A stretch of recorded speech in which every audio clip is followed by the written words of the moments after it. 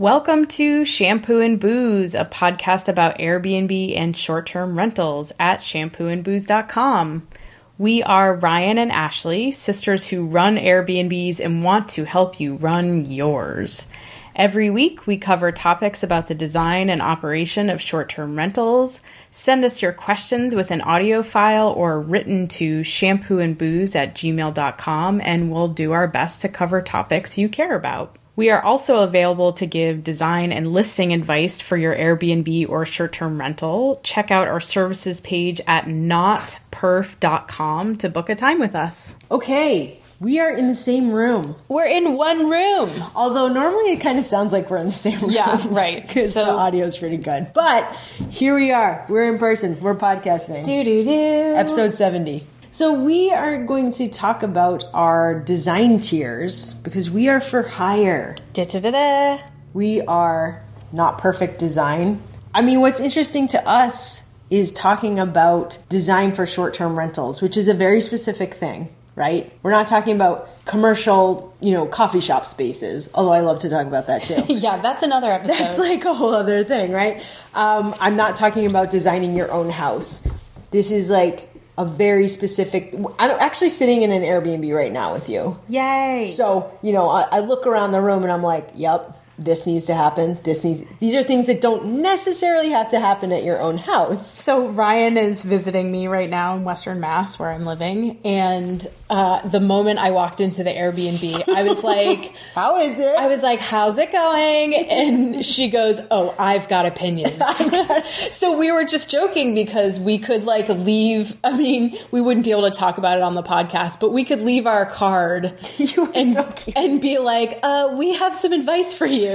Now, look, you could do that in not not the public review, not the no, you no, could do it in the public review, but Yeah. there are private notes you can give hosts. Absolutely. So, and we always ask for suggestions. Sometimes they get cranky about people's suggestions. Though I'm like, you want me to what? The most recent one was like, oh, you should add a bathroom to this other. add a, you know how much that costs? I would love a- to add a bathroom. You're like, I will put a porta potty in the backyard. Thank you very much. I would love to add a bathroom.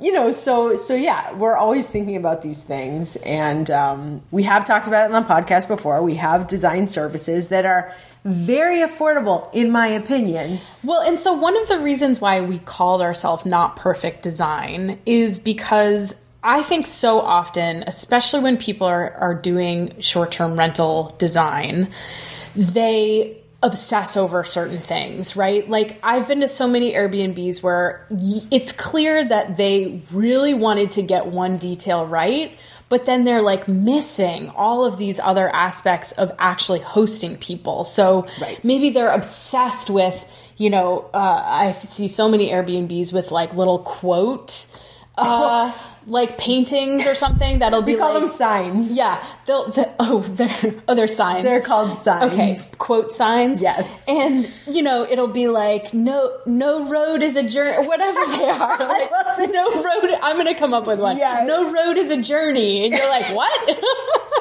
or it'll be like dream home, and you're like, is it though? Is it? Yeah. Is it? Your coffee makers? No.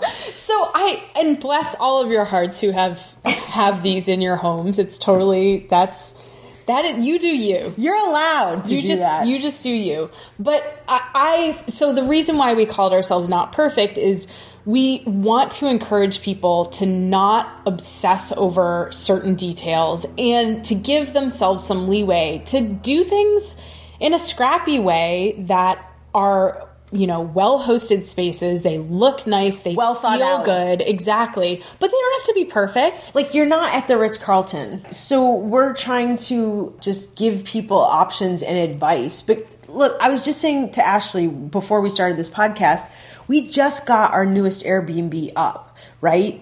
And we host this podcast. We've been doing Airbnb for years. We've stayed in Airbnbs for years, et cetera, et cetera. And I'm still thinking, I need you to look at my listing because I need to make sure that I'm not obsessing over this certain chair at this angle. You know, like I, I need a second pair of eyes or several to just say, no, this looks good, or this angle is not translating what I needed to because I'm so focused. I want you to see the beds, but you're not seeing everything. You know, there's certain mm-hmm. things where you're just like, I need someone else who's in this world to look at it for me and tell me if I'm doing okay or if I need to change something or amend something, which is why Airbnb is great, actually. You can change your listing, you can amend your listing at any time, um, and you can learn as you go. So that's kind of what's cool about this business is you can get suggestions from uh, guests or friends or people like us, and just you just change it and then you rephotograph and you're like good good to go so that's really the essence of why we wanted to offer design advice services and to a certain degree some operational services right. so that's a little bit more on the custom side but we wanted to go through our different price tiers and just say here's what we can offer you so the first tier, we have three, well, four-ish tiers. Um, the first tier we call baby steps. And basically, it's about listing optimization. So, you know, I went through this just recently where I am just trying to, and we've talked about this before, think about my title. They give you, I think it's 50 characters. It's not that many. You know, there's things now like the custom URL. You have to sit there and really be like, what should I call this? Like, what's going to grab pe- people's attention? It's just a title but it, it's so much. It's it's in Google. It's you know through Airbnb search. What are people typing to find my place? You know, it's things like that that you're like, I have to think about this because I've seen so many listings where it'll have a title and you're like, I have no idea what that means. River cabin number three? What does that mean? That says nothing to me, except maybe it's on the river. But you know, so it's things like that where you can get kind of stuck in the weeds and you're like, I gotta have someone else's perspective. I did that with you with our newest uh, rental, you and and our mom. I was like, please help me with this title. Yep, Give exactly. me some advice. Right. So the next one is uh, the next thing that we offer in the baby steps in terms of listing optimization is looking at your photo quality and content suggestions. So just like you're saying, looking through your actual listing, going photo by photo and saying, how's the quality, not just in terms of the photo quality, the lighting, but also like what information am I getting by looking at this picture?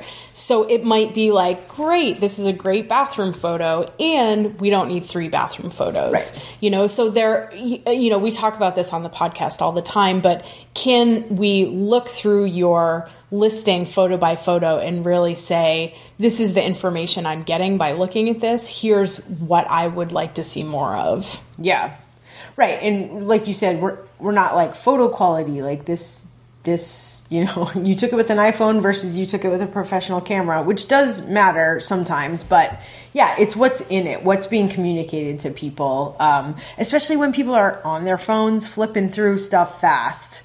You know, did you get your I mean, we almost have to be like marketing and advertising people on our listings. Uh, you have to compete with other people and you have to get the information across really quick on a tiny screen, sometimes on a tiny screen, you know? Again, something we talk about is description and title wordsmithing. So again, titles are super important. Descriptions are important and, and Airbnb's funny because they'll give you all these like it seems like five different sections where you can like describe your place. And you're like here's the short description that you would see like at the top of the listing. And then there's a place where you can it, i think it's unlimited text where you can just be like here's my house rules plus like every little basically we put our house manual in there. This is what you do for emergencies. This is what's down the street. This is where you would go for beer and wine. Like it's like because honestly, I feel like people want to know that stuff. If they don't want to know it, they won't read it. But sometimes I get really uh, caught up in those things and overwhelmed by them. I think we can help out with that because I think we're good at like keeping ourselves on track with, you know, getting information across. And then we will help identify your target market and how to attract them with your listing. So, just like we're saying with title, as an example. So you might be in a crowded market. Right. You might be in You're New in York City. Market. Yeah, you might be in Boston. Right. And so how do you communicate through your title and your short description the amenities that you have, the location that you're in, and the character of your short term rental. Right. What makes your rental special? I'm in a place right now where I'm in a rental that's in a college town that's probably booked all the time. Um, so they're not really making it that special. It's a cool space, but you're like, can you get away with certain things in certain markets? Not that I want people to get away with stuff, but what is my market? Someone's looking for a hotel room basically, but it's cheaper than a hotel and it's uh, got a kitchen. Or I'm in a crowded ish vacation market and I have competitors who are right on the river. Everybody wants to be right on the river or with views of the mountains. And I have places that aren't on either, like don't have either of those things any of those things, but we've made our places special enough and conveyed that to enough people that I'm booked, I'm 90% booked year round. Uh, it's possible to do that, even if you're, like you say, in a crowded market. So, one of the things that people write us about the most um, that I've noticed is they are curious how we chose pricing yep. based on our area, their area, right. and they want advice on their listing, how basically how to differentiate themselves from their competitors. And really, that's what hiring us is all about. So right. we could look at pricing if you needed. We could, you know, look at your title, look at how you're standing out, and actually look at your own local market yes. and figure out how to help you stand out. So that's really the baby steps of listing optimization. And then at the end of that, we would send you an email of all of our advice. Right, we'd sum it up. Yep. And then you would have this almost like checklist of, okay, here's what we saw, here's our advice for you, here's, you know, what we what we saw in terms of optimizing your listing. We've done these things on our own but it so helps to have someone else do it. I mean, with you, you know, I mean, obviously we would be asking you about your market and like, what are people coming to your area for? You know, like I've heard people are like, oh, I have a rental for like, there's a really famous hospital in our area and there's visiting nurses who work for a few weeks at a time or people visiting people in the hospital or people going to you know like we I don't have that, but um, someone else does, so you can cater to that market, and they already know that. So how can we better cater to that market? I also find hearing about other people's areas endlessly fascinating. Why are you doing this? What is your market? What are you hoping to gain out of this? I mean, other than making a living. And so many times, I mean, people who are doing short term rentals, you know, they're like us. They have an extra space or they have a, another, you know, building that they just purchased or, you know, they're not like big time developers. Right, you're not like hotel hotel owners. You know, I mean, some people are. Yeah, that's not the level we're working on. Yeah, and so for us, it's like how do we help each other out? You know, exactly. the short term rental community isn't that big. I mean, it's all over the world, obviously, right. but as far as your own local area, you know, you're not going to call your competitor up and say, "What do you think of my Which listing?" I'm all, like would love to do sometimes. Would love to talk to my competitors about how I have emailed some people and been like. I just need to ask you a question. Like, how are you doing this? Yeah, you know, and totally. Somehow I've been able to find their information but but this is obviously an easier way to do that since we're all in the same we're all in the same boat. So as far as listing optimization goes that is our baby step tier. So if you're listening to this and you say i could use that that's the that's the way to start. So the second tier we have is called make it work and we call this the design basic. So everything we just said we would do in this. Plus we would have a written space design suggestions with a with a, your current setup and furniture. So this is us looking at your photographs on your listing and really diving into what could be done with this space. We did that with Jordan's listing. We basically did everything with Jordan's listing. And we will link to that in this episode. So that was our two-part video series where we thoroughly went through an Airbnb listing of a farmhouse in upstate New York. Something that's, I mean, it's fun for us because we're like interior design nerds.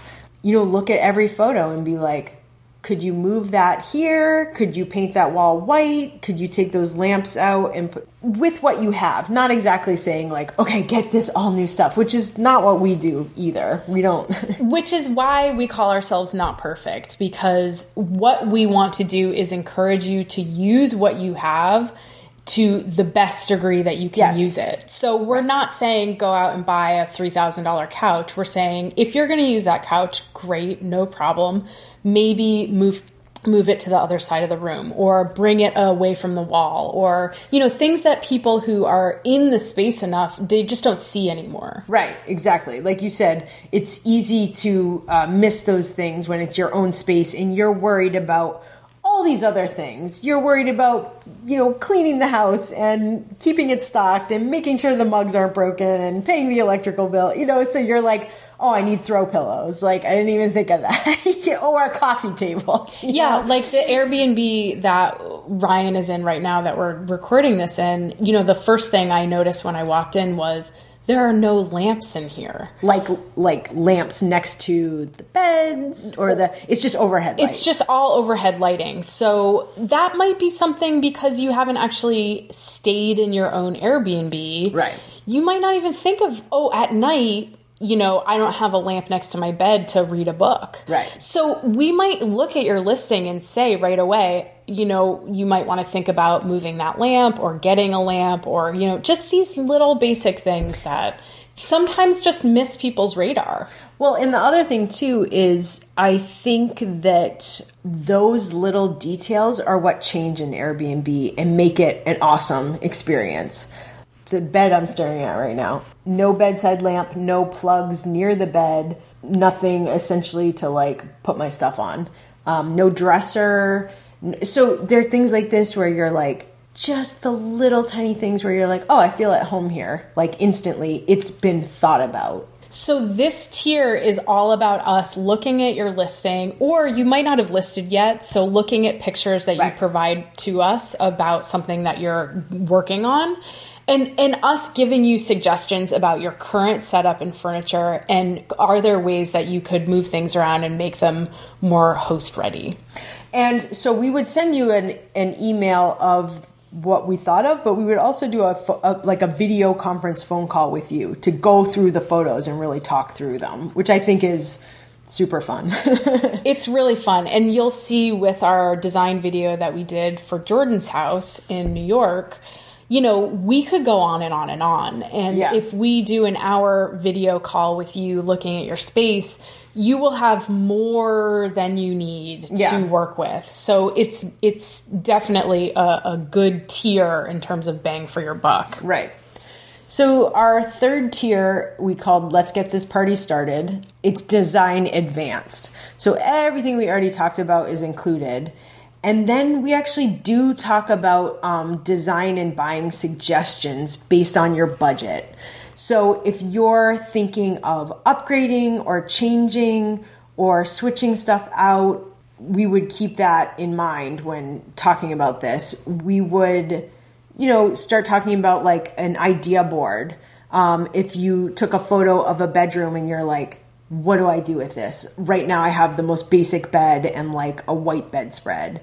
That's it's like a dorm room, you know. I've I've stayed in those places. Um, what can you do to not spend a ton of money? I'm assuming nobody wants to spend a ton of money, but make it thought about and designed. So the other way that this tier is helpful is you have a space and it's not an Airbnb yet and you are thinking about converting it. Maybe it's a guest room, maybe it's a carriage house, maybe it's, you know, a second floor apartment or something.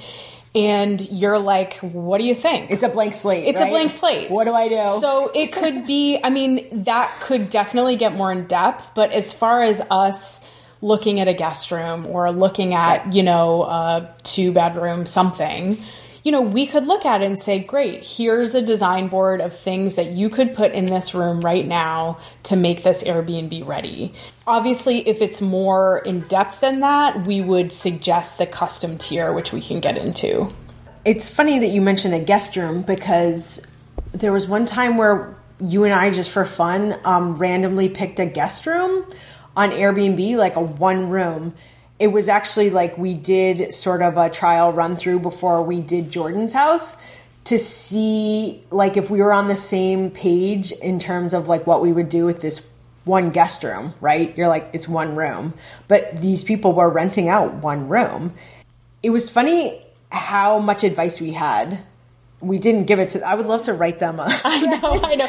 We see this all the time. Guest We're like, room in Florida Does anyone somewhere." want unsolicited advice? Because we have so much of it. But what was funny is, um, I feel like there are probably people listening who are like, I just rent one room. You rent one Yeah, room. I, I rent room. I rent run room. I rent, rent. Yeah, say it three times fast.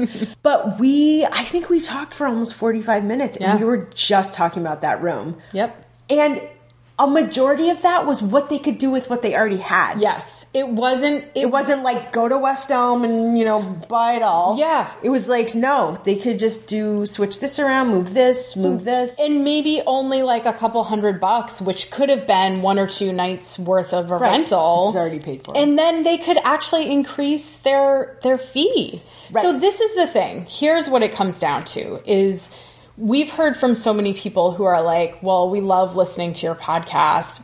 And then in parentheses, we hear like, "But we don't really want to pay you to do this." Right, right. The thing is, if you're renting right now and you're booked, that's great. Congratulations. We love that. If you are able to make some simple upgrades, even with what you've got, to just make your space a little bit more usable, user friendly, beautiful, you know, desirable in your neighborhood, you could actually be charging even a little bit more. And so if you stretch that out through the year, or if you're getting more listings because of that, or you're getting more bookings because of that, this could be worth it for you. Right. Um, something I think about with our new Airbnb is we really need to stand out because of what our situation is. We're an apartment above a commercial building in a place where you can rent a cabin in the mountains. And my fear was, is anybody gonna want to do that? I mean, we have some pretty nice um, hotels, like historic and boutique hotels on Main Street, but I'm like, but we're not a hotel. So I'm like in this weird spot, but I've been able to stand out from my competition, something we have to talk about, because we designed it and we thought about it, and people are seeing the pictures and they're like, I want to stay there. I want to stay in a three bedroom apartment in a vacation cabin rental place that like people just hang out on the river. You know, this is what we're talking about, like making things like that happen where you're like, I have a one tiny little guest room in my house um, that has a mini fridge. Uh, how do I like class that up and make it so people are like, wow, I, this is like nicer than my house? You That's know? exactly it. So, so really, with the let's get this party started tier, the more uh, advanced design tier. So, this is all about helping you stand out from your competition, really looking at your area, giving you a personalized idea board, having an hour video phone call with you, giving you design and buying suggestions, and all of that for just a $300 tier. Right. So it's it and it's really both of our advice. So it's not like you get passed off to an intern or something, you know, it's like I'm your intern. we are is- interning for you.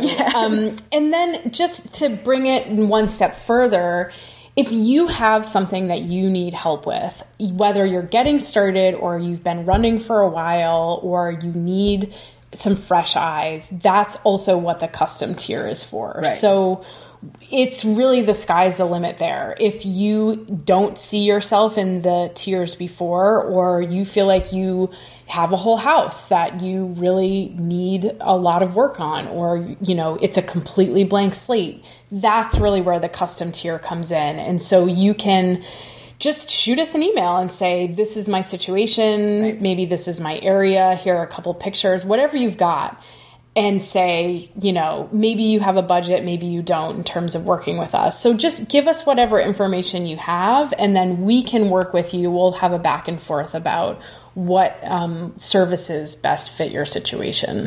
And we think this stuff is really fun. We were hanging out a few months ago and we were like, this is cool and I think this is needed and I would have a blast doing this. I had a blast doing um, Jordan's house on our video. I like. s- I just like spent my free time like doing little Photoshop thing, like you know, I'm like I want to see things improved. I want to see people have nice experiences. I want to see people make money using your space and having people. Jay always says this about our places.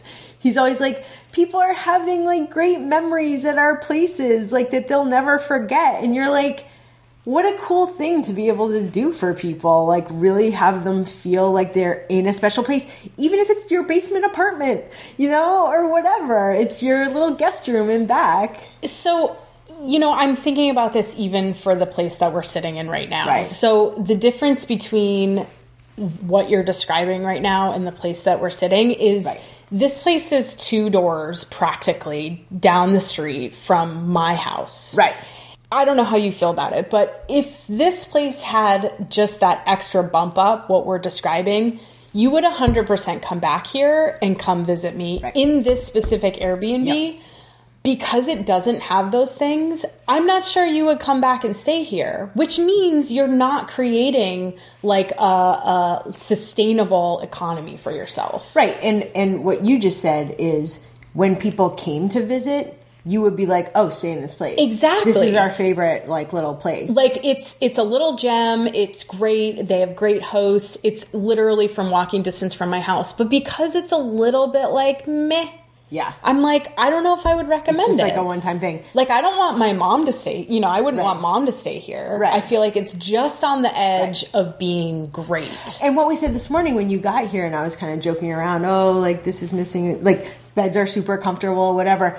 There's just like a little bump up. It's such a minor bump up from from what it is now, and I feel like. I mean, there are times when I even look at my places where I'm like obviously obsessed with like every possible amenity for people. You know, there are still times where I'm like, oh wow, I don't know how I missed that. Like, there are things where, like, you know, our farmhouse rental has been going for, I think we counted four and a half years. To me, that seems like an eternity. And I'm like, I can't believe we missed X thing, like, whatever it was that we missed. And I'm like, it just took one person to be like, oh, I needed this thing. And you're like, I can't believe I didn't have that. I needed a second pair of eyes. So, that's what we're trying to offer. We're super excited about it. We're, we're like so passionate about it. It's so fun for us and we want to share. yay Okay. all right Listen to our next podcast. okay bye Bye. Thanks for listening to Shampoo and Booze at shampooandbooze.com. As usual, you can send us your questions with an audio file or written to shampooandbooze at gmail.com and we'll do our best to cover the topics that you care about. Don't forget about our design and listing advice services. Head over to our services page at notperf.com to book your design advice session.